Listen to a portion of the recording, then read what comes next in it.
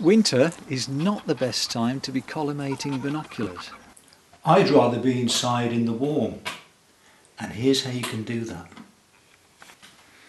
Some time ago I made a video sharing how I realigned the optics of my binoculars by altering the position of the objective lens.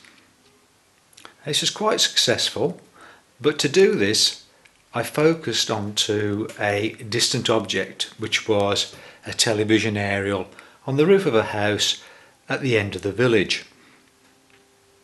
Today I'm going to do it again, the same process of realigning the optics, but I'm going to be focusing at an object that is only at the end of our kitchen table.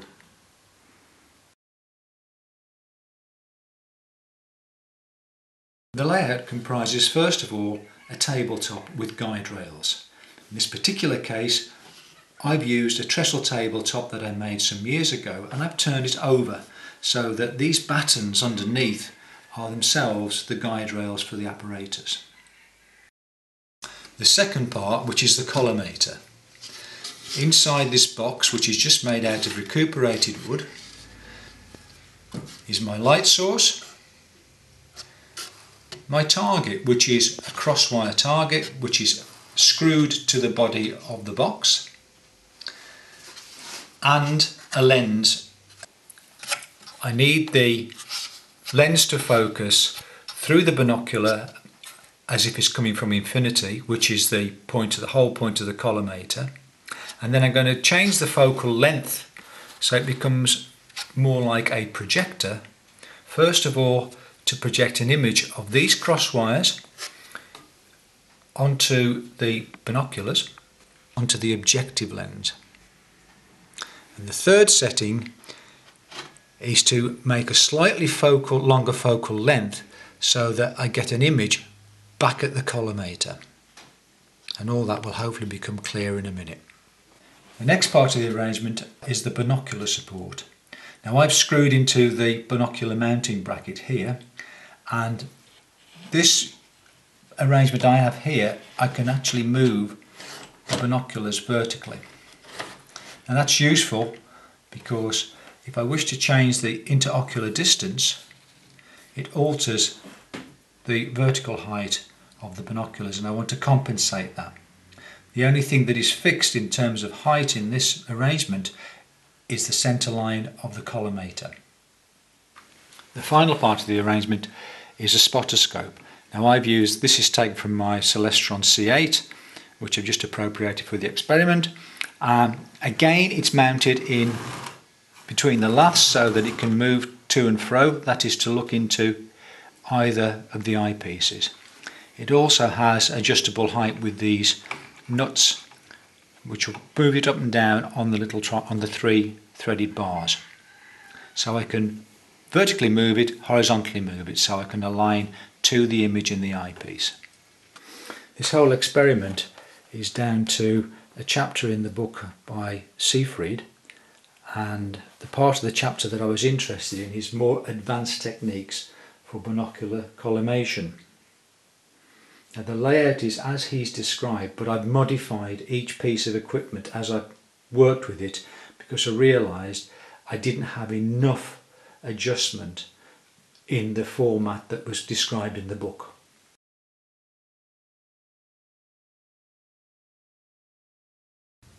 I'm now in a darkened room with the collimator light turned on and the first thing I want to check is to make sure that the objective of the binocular is central to the light beam from the collimator. Now to do that I've cut two cardboard discs that fit exactly into the dew ring of the binocular. The next thing I'm going to do is I'm going to alter the focus on the collimator so that we project an image of the crosswire onto the card disc and there we can see it uh, it's way off center but horizontally I can move the collimator to that position and so there's a vertical misalignment here I'm going to have to lower the binoculars to meet the center of the crosswire I've slackened off the lock nut and now I'm just going to lower it till it's centered lock it up. And then what I'm going to do now is move the collimator across to the other objective. That is also centered fortunately. So that means that the binoculars are level and on the same axis optically as the center line of the collimator.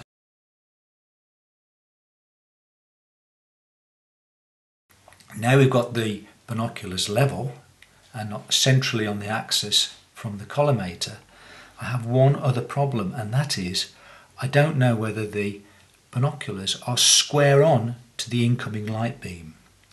And this has posed quite a problem for me to work out a solution to that. And then I cast my mind back to my school days many years ago and I remembered a thing called an optical lever where you can magnify an error simply by reflecting it. So what I've done is I'm going to attach a mirror to the front ring of the dew cap with an elastic band. So that's now sitting snugly against the front machine face of this dew ring. Technically it is now bouncing the light back to the collimator on the wall of which I have drawn cross lines which are centered on the lens. I've now slewed the camera around so I'm looking back at the front wall of the collimator and I'm going to alter the focal length once more to the third position that I mentioned. And there we are. And that is the image from the objective lens from the mirror in front of it bounced back to the collimator. And I think you can see that we are out both vertically and horizontally. So that means that the binoculars are not square onto the light path of the collimator. So I'm going to have to correct that by slewing the binoculars round until these two lines coincide. So I've now corrected the vertical error so my two horizontal lines are coincident. Now I'm just going to shift the axis there and we're now coincident. So we've now got the binocular is now square onto the light path from the collimator. Now I have one more thing to check. I want to make sure that I haven't moved from the central axis of the objective lens. So now I'm going to remove the mirror and check once again that I haven't shifted the axis onto the center line of the disc. Right, so move the camera around looking back towards the binoculars and I'll just lift away the mirror and refocus onto this cardboard disc.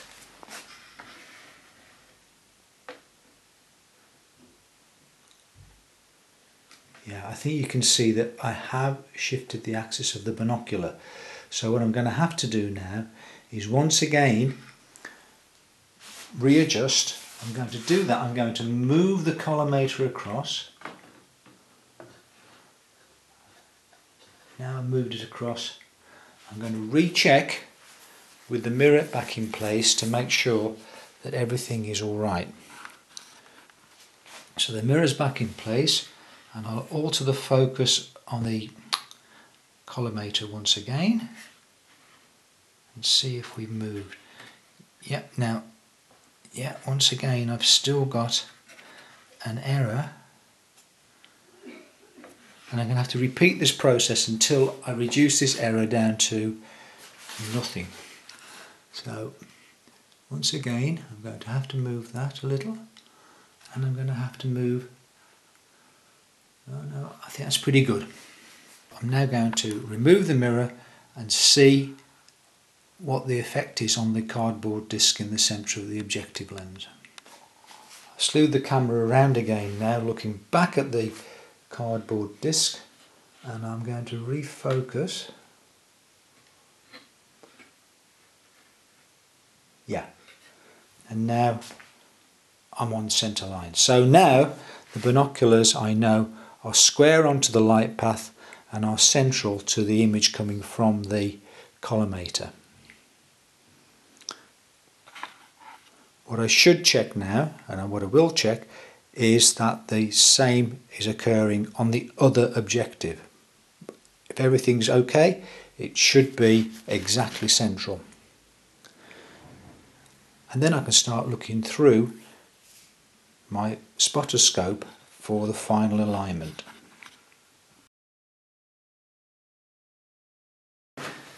I'm now ready to do the experiment proper now, which is the checking the alignment of the binocular objectives. And I have removed the cardboard discs from the objective end of the binocular and I'm looking through the left hand half but I'm looking through the finder scope. So what I'm looking at is the image in this eyepiece through the finder scope. So it's a much more magnified image of the cross wires and superimposed onto that image is the image of the crosswire in the finder scope. Now on this side these are collinear. They actually I have these um, the cross wire on the finder scope superimposed onto the image of the cross wires from the collimator. Now I can't show you that on the video because I haven't enough contrast but I can take still photos to show you what you should be seeing if you look when you look through the finder scope. So as far as I'm concerned that is perfectly fine there's no need for adjustment. So we move over to the other eyepiece go and shift the collimator along so the light is going into the other objective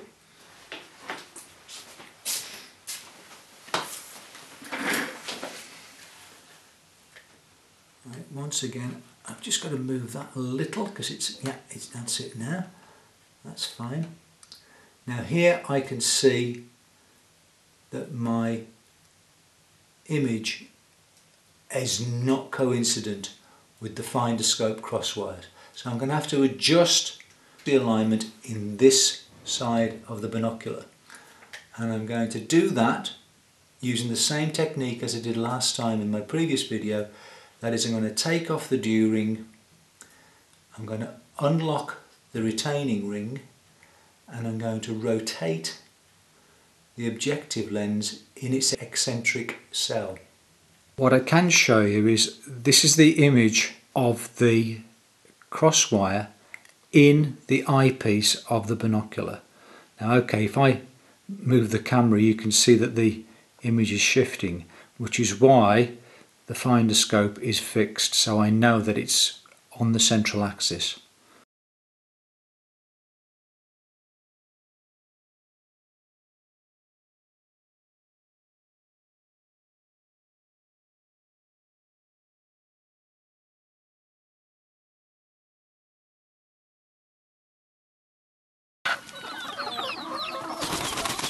Okay. Right, now comes the acid test.